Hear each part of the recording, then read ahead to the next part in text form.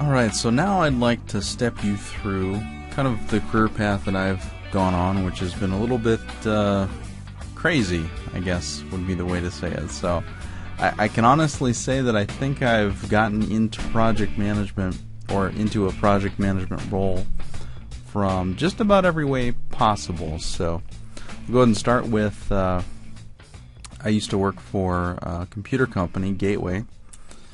And when I started there, I was a phone technician. And I ended up getting into the training department and being a, a senior technician for a while.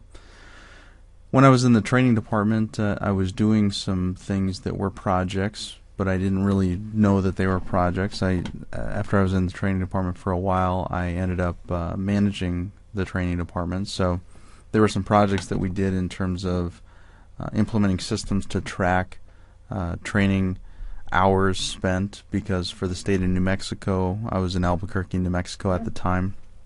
We had to keep track of that so that there was some type of a, a tax break or something like that for the company based on the amount of training that we provided for our employees. So th- that was just one example of the the type of thing that that I did there.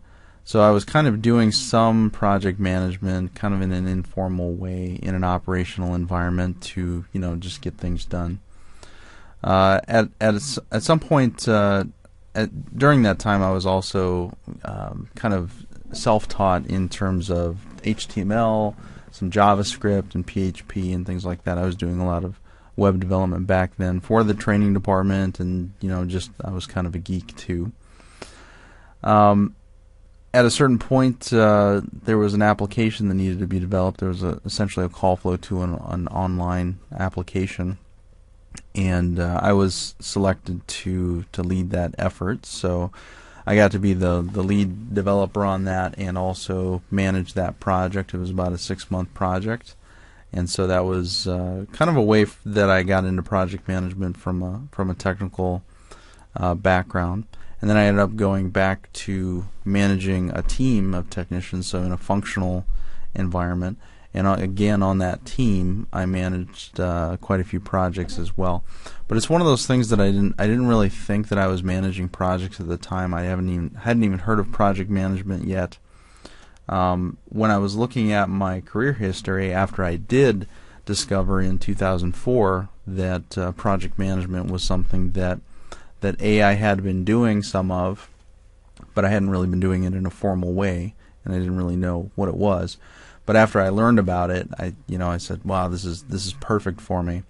And so when I started going back and looking at my work experience, I I started to see, yeah, you know, that was a project. It had a beginning and an end, and I led a group of people to you know to implement it. And you know, we didn't use MS Project or anything like that. It was mostly spreadsheets or you know, just saying you go do that and, and maybe ha- putting a bulleted list together of things that needed to get done. But uh, it was a project, so that was uh, that was my experience there. And then after Gateway, um, it was uh, 2002.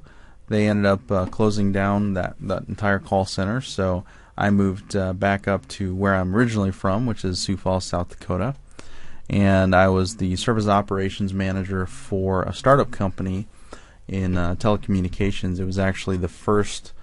Uh, do you know the the Verizon and AT and T? They have those uh, those wireless cards that you plug into your laptop now, and it works off of the cell towers. You get data through there, the 3G systems. Well, the company that I worked for, we implemented the first of that of its kind, the first commercial network, uh, CDMA network, in the U.S. and it was the second in the world. The first one was in uh, in Korea, in South Korea. So um, I was there for about two years. I was the service operations manager. So there was uh, quite a bit of startup type things. Everybody wore a lot of hats. It was a great environment.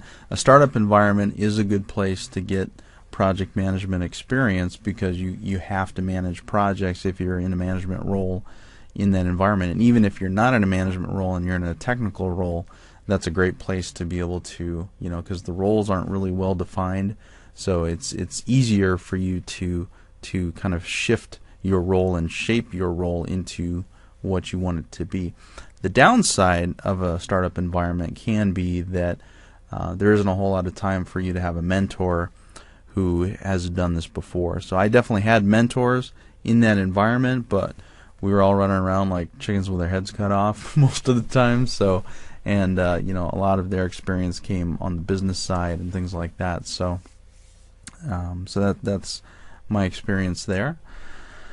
Um, after that, uh, we ended up that that that venture ended up uh, failing. Essentially, we we were trying to get uh, bought out by one of the major carriers, and that didn't happen. So that ended up not working out after a few years. I went to go work for Midcontinent Communications, which is a telco uh, internet service. They do internet service, they do telephone, they do cable TV. So they're they're a telecommunications provider uh, up here, and, and and I worked the telephony team there.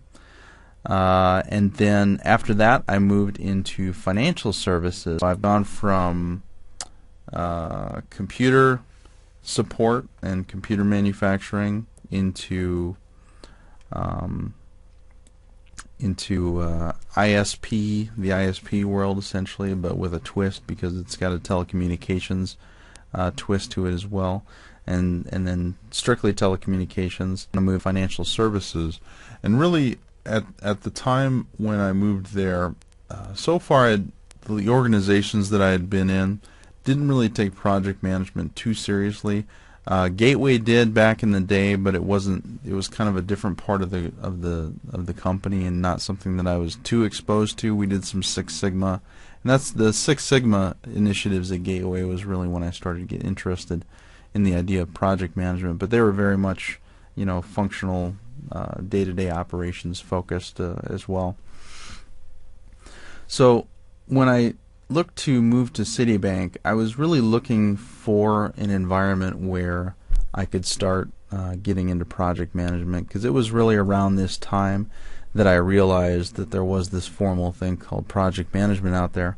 when I when I when I left the the startup company, that was when I really started looking at it. And so when I was at Midcontinent, the whole time I was I was uh, learning more about it too.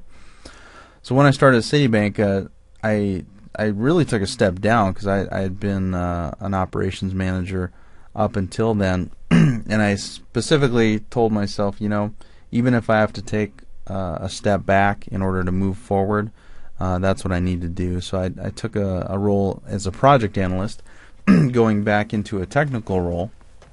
And so I was leveraging some of the experience that I had picked up throughout the years because I was kind of a, a, technical manager throughout this entire process and learning a lot of things uh, myself. So most of it was self taught. Um, but in this project analyst role, I was a database developer, so I worked with uh, Microsoft SQL and Oracle uh, quite a bit and did some you know front end programming as well. So we we did a lot of process improvement projects. And when Citibank had uh, acquired different companies, I was one of the people that made sure that the systems of the company that they acquired talked to our systems and and did the translation between the systems and those kind of things. So really, the reason why I took this job was so that I could get uh, experience in a in a more formal project environment than I had been exposed to before, uh, and so that I had some some opportunities that could potentially come up as well. And that definitely did happen. Essentially, what I started off as a project analyst. Uh, after about a year, I was promoted to a lead, and during that during this whole time, I was starting to move some more formal project management practices into place. So I started doing things like um, I created uh, one one you know one page status reports uh, and one page project plans, and I started doing these on my own as a developer and as a team lead to start to put some some rigor and some some formality around the projects that we were doing because even you know even though I did join the company to get a more formal project environment and it was a more formal project environment than what I was used to um, there were a lot of smaller projects that we were doing in that department that the management never really saw the value in in looking at those as formal projects. So I'm talking about projects in from anywhere from two weeks to three months in duration or something like that. Really, they would only look at it as a project if it got up to like six months in duration or, or things like that. So for these smaller projects, I started putting some some rigor into them. I started doing some scheduling with uh, with some things. I actually created a, a, template in Excel that mimicked a lot of the functionality that MS Project has, um, and so there was the, so I essentially kind of grew this role into the point where by the time that I left Citibank, I was managing projects. I was also the technical lead, so I was kind of like half technical and half managing the projects and I was managing you know projects of you know three, or four, or five different people that were working with me as well. Um, and when I left Citibank, it was it was uh, interesting because I had an offer to become a uh, um, essentially like a business analyst, but it was kind of like a junior project manager uh, type role. That was one of the options that I had. They had offered me that at Citibank, and at the same time, uh, a friend of mine that I went to school with um, had gotten a job out at EROS Data Center, which here in Sioux Falls, that's it's, it's in the aerospace industry. And what EROS Data Center does is they run the ground system for uh, a, a, few a few different satellite missions, and they, they they do a lot of different things out there. But it's a federal it's a federal agency here in Sioux Falls, and uh, the project that I was in particularly interested in was LDCM. And LDCM is the Landsat Data Continuity Mission. So there's this uh, series of satellites called the Landsat uh, satellites, and right now Landsat 5 and Landsat 7 are up orbiting the Earth, and Landsat 8 is the next version. So the project that I wanted to be on was the project uh, that was developing that satellite and going to be going through and doing the launch and building the ground system for it so that we could get the data down from the satellite and do all that thing. So this is the type of satellite that this is is a remote sensing satellite. So instead of being pointed out at the stars, it's pointed back at the Earth, and it's got a lot of uh, scientific instruments to uh, to detect things like vegetation, temperature, um, all those kinds of uh, scientific things.